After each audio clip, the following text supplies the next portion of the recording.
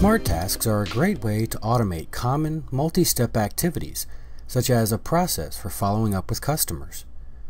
Smart tasks consist of a template, security settings and schedule, as well as task steps that define what actions should be executed, such as sending an email or updating a field in the database. Smart task templates may be created, managed, and run by administrator or manager users.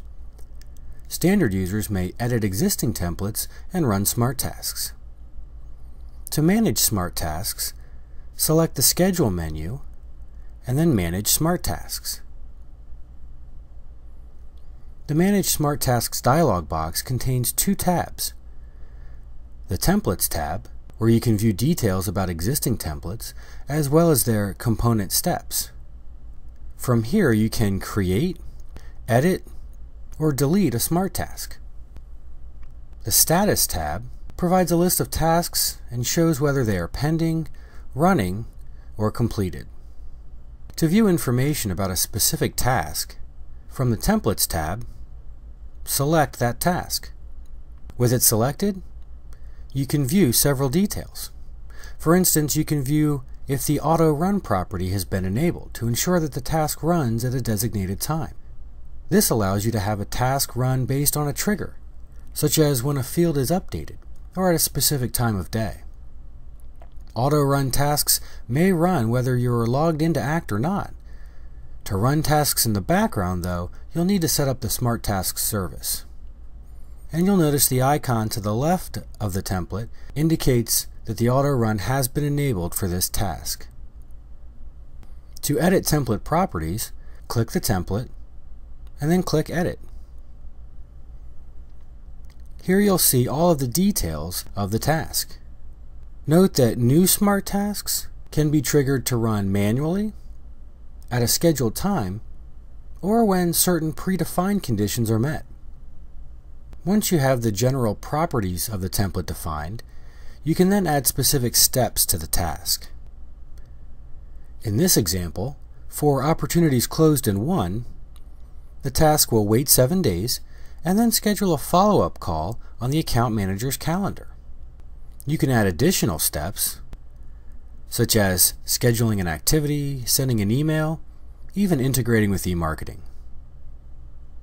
Once you've created your templates and the individual steps, just close the Smart Tasks Manager. To run a Smart Task manually on a current list of contacts, start by looking up a set of contacts. This is a list of contacts we haven't contacted in the last 90 days. Now you can click Schedule and Run Smart Task and select a task to run. We're going to select our task Contacts with no recent activity.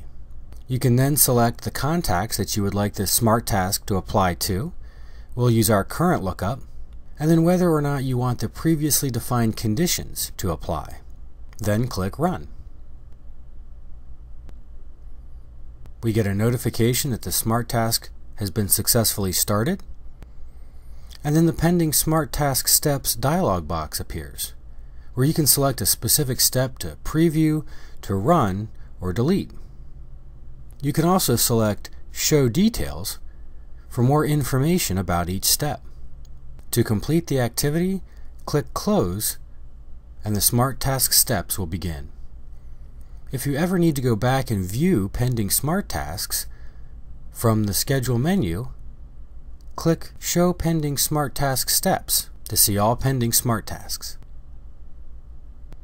As we've seen, Smart Tasks enable you to automate tasks that may contain one or multiple steps. If you'd like to automate customer management tasks such as sending follow-up emails, updating fields when contact information changes, or other routine tasks, use a smart task.